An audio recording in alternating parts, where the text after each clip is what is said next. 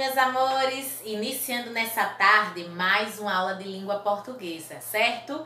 Então, nosso primeiro conteúdo do livrinho 2, abrindo aí na página 2, certo? Tem no supermercado. Então, vamos observar aí na página 2 e 3 o que encontramos no supermercado. Ó, ofertas! Isso, a gente encontra ofertas no supermercado. Nem sempre, né? Mas tem momentos que a gente encontra assim umas coisas mais baratinhas. Então olha aí, ó. Vários produtos, né, que utilizamos na nossa casa, como feijão, arroz, biscoito, carne, alface, Produtos de limpeza como sabonete, shampoo, alvejante, sabão em pó.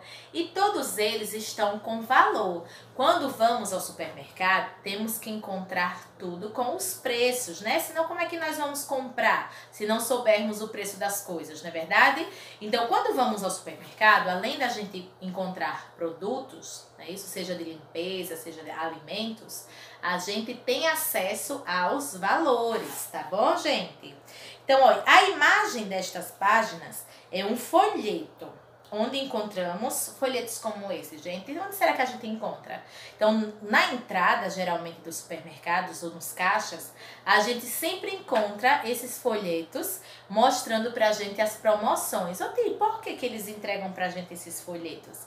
É uma forma de propaganda, né? Tem aquele velho ditado que diz, a propaganda é a alma do negócio. Então, o supermercado só vai estar cheio se eles fizerem a propaganda dos produtos que eles vendem. Então, geralmente a gente encontra no supermercado, certo? Para que esse tipo de folheto serve? A tia acabou de dizer, né? Então, para propagar, para fazer a propaganda dos produtos e vender bastante. Você e sua família costumam observar folhetos como esses antes de fazer compra? Então a mamãe e o papai, eles têm o hábito de observar primeiro os valores das coisas para depois ir ao supermercado? Hein? Pergunta aí para a mamãe e para o papai. Vamos aí à página 4. Então, quando a gente vai para o supermercado com a mamãe e com o papai, geralmente a mamãe e o papai eles fazem uma lista de compras, né? Vamos ver o que é que tá faltando aqui em casa, né? Eita, faltou sabonete, temos que comprar sabonete. Chega, faltou macarrão. Então, geralmente a mamãe e o papai sempre fazem uma listinha de tudo que está faltando para quando chegar lá nas compras do supermercado não esquecer nada, não é isso? Então é isso que nós vamos ver aqui na página 4, ó. Vamos às compras? Observe o texto a seguir. Sobre o que você acha que ele trata. Ouça a leitura que o professor vai fazer do texto para saber se a sua opinião está correta. Vamos lá. Arroz, feijão, carne, vagem, vinagre, farinha de trigo, uma caixa de ovos, cinco maçãs, jabuticaba, duas berinjelas, alface, erva doce, uma lata de ervilha, espinafre, uma bandeja de iogurte. E aí, o que é isso mesmo, gente? Isso é o que a tia acabou de citar antes. Isso uma lista.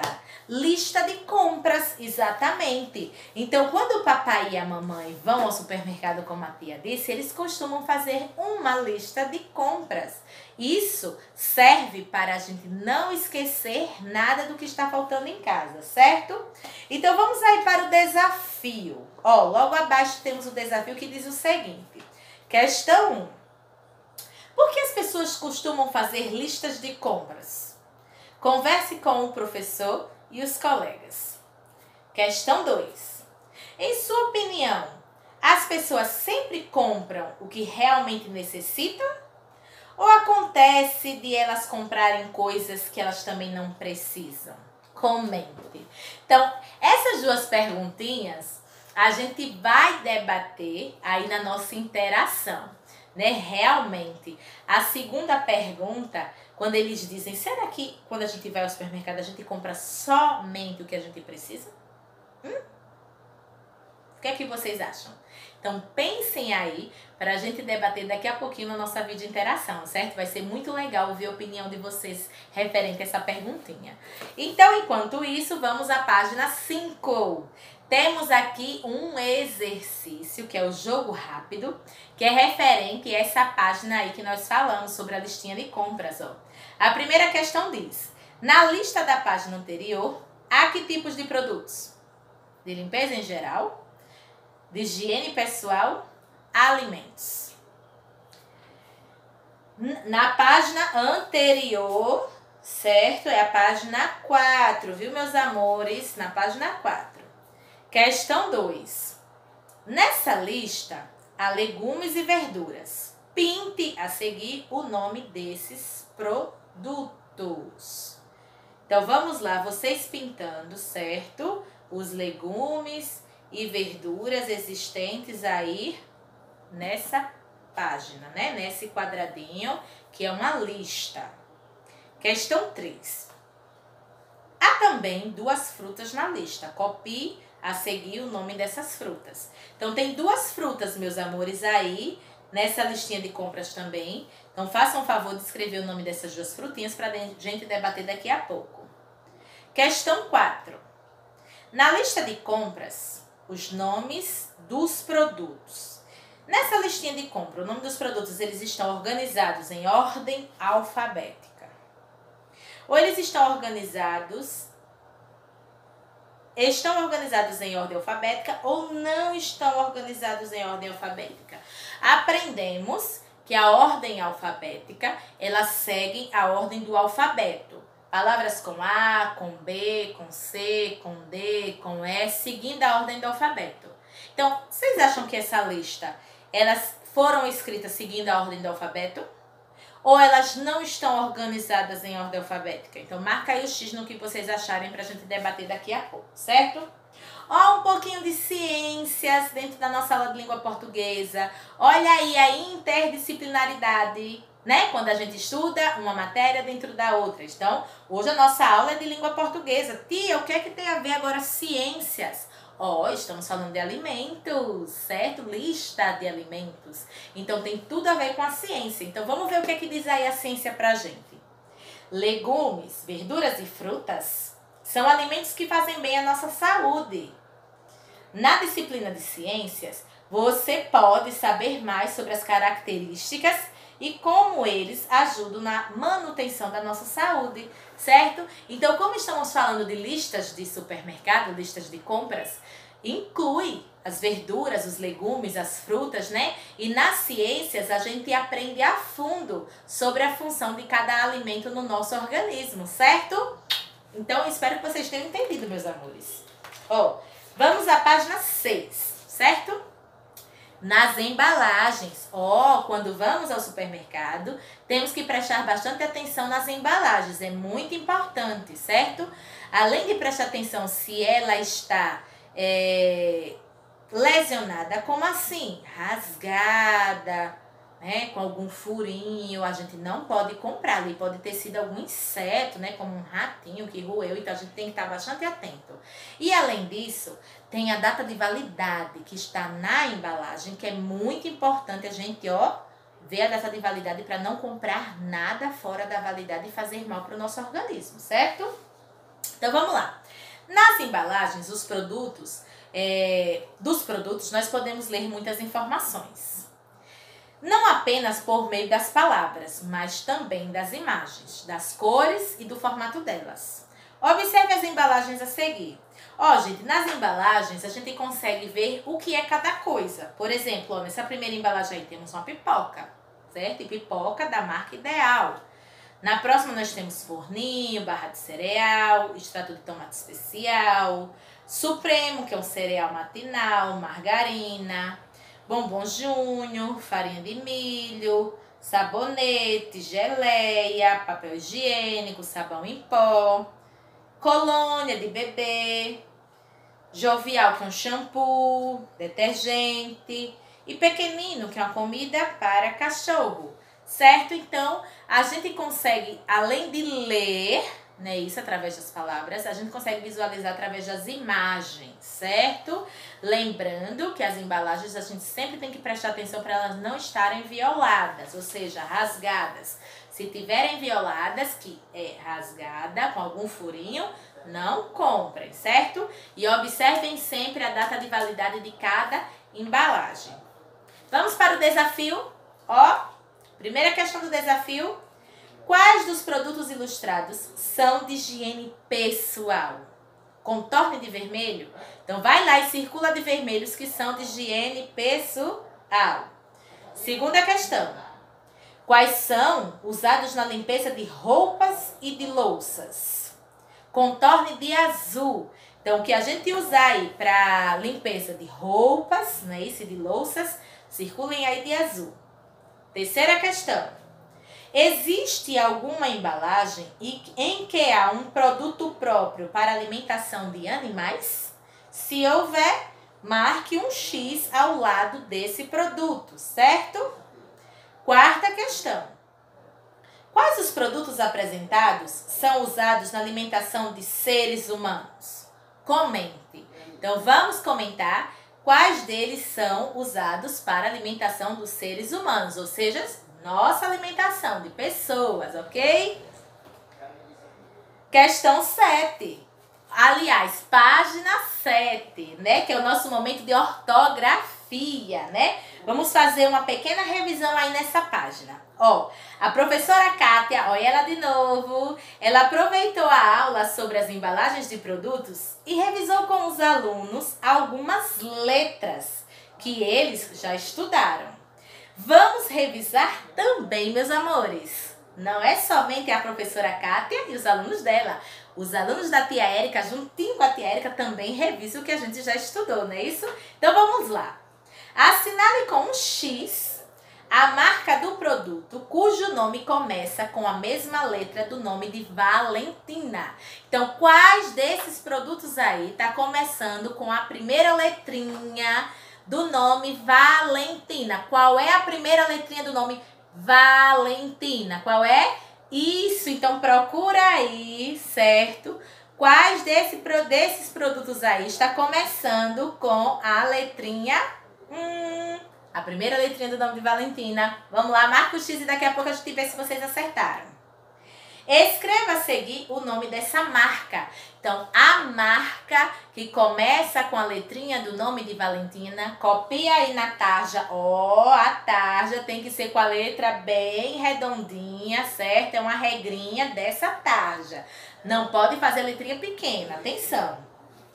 Juliana falou para a professora Kátia que havia dois produtos com o um nome iniciado pela mesma letra do nome dela. Hum. Recorte as imagens desses produtos no material de apoio e cole-as a seguir. Então, meus amores, vai lá no final do livro, certo? E procura aí na disciplina de língua portuguesa, ó, tá logo na página 1 do material de apoio da página 7. Então, só vai recortar esses dois daqui de cima, que é da página 7, certo? Somente. Aqui já é da página 11, não pode recortar. Só esses dois aqui, ó. E vocês vão colar, certo? Aí nesses quadros, porque ela disse que começa com a mesma letrinha do nome dela. Juliana. Começa com que letrinha? Com J, não é isso? O J. Então, verifiquem se nessas imagens aqui, ó, realmente eles começam com J. Se começarem, colhem lá, certo? Tá bom? Tudo entendido? Então, vamos para a página 8. Na página 8, vem dizendo o seguinte. Entre os produtos a seguir, há um cujo o nome tem a letra inicial do nome de Mateus. Hum, ligue o menino a esse produto. Gente, tem um produto aí que começa com a primeira letrinha do nome de Mateus. Mateus. Mateus. Começa com que letrinha? Isso! Muito bem com o M. Então procura aí quais dessas embalagens está começando com M e liga o Mateus a esse produto, certo? Nicole observou que entre as embalagens havia um produto que é usado pelo cachorro dela. Ajude o cão a chegar ao produto cobrindo os pontilhados com a letra N em suas quatro formas. Ó, então, vocês cobrindo aí os pontilhados da letrinha N, né? O N de navio. Então, vocês ajudarão o cachorrinho a chegar à embalagem da comidinha dele. Então, contorne aí direitinho em cima do pontilhado, ok? Vamos à página 9. Ana identificou um produto cujo nome tem a mesma letra inicial do nome dela. Ana. Ana. Começa com que letrinha mesmo? Isso, muito bem. Então, contorne a imagem que começa com a letrinha do nome Ana, certo? Ulisses gosta muito de comer geleia. Também gosto, viu, meus amores? Com biscoito salgado. Descubra qual é o sabor de geleia preferido dele e depois pinte a fruta correspondente. Dica: a fruta que dá sabor a essa geleia começa com a mesma letra do nome de Ulisses. Então, Ulisses começa com a letra isso. Então, essa fruta também começa com a mesma letra que começa o nome Ulisses. Vamos lá? Então vocês vão circularem e pintarem. Aliás, somente pintar, né? Vocês vão pintarem a frutinha, isso. Depois, logo abaixo, aí nessa linha, vocês irão escrever o nome da fruta que você pintou, certo? Abaixo nós temos. Observe a embalagem abaixo e escreva nos locais indicados no quadro a letra inicial da marca desse produto. Nas quatro formas pedidas. Ó, oh, olha a responsabilidade. Temos que escrever agora sabão Opa. Opa começa com que letrinha? Então vocês terão que escrever essa vogal das quatro formas. Atenção! Letra maiúscula de forma, escreve aí. Letra minúscula de forma, e o que é o de forma? É o de imprensa, é a mesma coisa. Letrinha de forma é a mesma coisa de letrinha de imprensa, certo? Então escreve aí. Letra maiúscula cursiva. Tia, o que é o cursiva? É o manuscrito, certo? É a mesma coisa. Então escreve aí a maiúscula. Letra minúscula cursiva, que também é a mesma coisa de manuscrito. Então, escreve aí, meus amores. E vamos para a última página de hoje, que é a página 10, certo? Eduardo disse que sua mãe usa um dos produtos para fazer o molho de macarronada que ele adora. Observe os produtos na página 6 e complete. A seguir, o nome desse tipo de produto. Dica. Hum. Ele começa com a mesma letra inicial do nome de Eduardo. Então, vamos lá contornando essa palavrinha, né, para formar o nome, certo? Que produto é esse que ele adora na macarronada? Que tipo de molho é esse? Hum? Tá bem explícito, bem claro aí na frente da gente. Então, só é contornar, certo? Agora, contorne todas as letrinhas E que você encontrar no nome do produto. Então, lá onde você contornou, procure as letrinhas E e circule todas que existirem aí, certo? Isis Mostrou para a turma o pacote de pipoca, alimento que ela gosta de comer assistindo à televisão. Contorne na embalagem o nome da marca do produto. Depois escreva as quatro formas da letra inicial dessa marca. Então vai lá no produto, certo? Contorna o nome da marca do produto e ao lado, escreva as quatro formas do I. O I maiúsculo manuscrito, o I minúsculo manuscrito, o I maiúsculo de imprensa, que é o de forma, e o I minúsculo de imprensa, que também é o de forma, certo?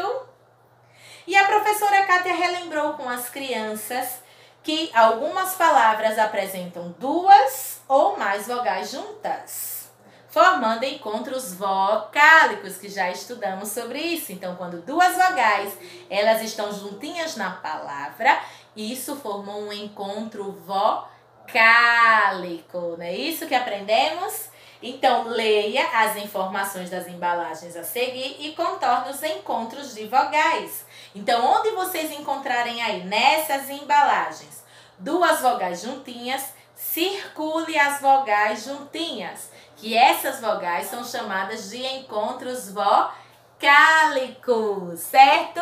Ai, que aula boa! Deu para aprender bastante coisa, né? E deu para relembrar ó, encontros vocálicos sobre a letra I, o E, o A, o U, o O, ou seja, as vogais foram relembradas hoje na nossa aulinha, né? Com as embalagens, com tudo que tem no supermercado, né? Isso, com as listas de compras. Então, revisamos tudo isso que a gente já tinha estudado, né? Então, aqui, meus amores, a gente encerra a nossa aulinha de língua portuguesa e a gente se encontra daqui a pouquinho na nossa interação. Então, ó, beijo e até daqui a pouco!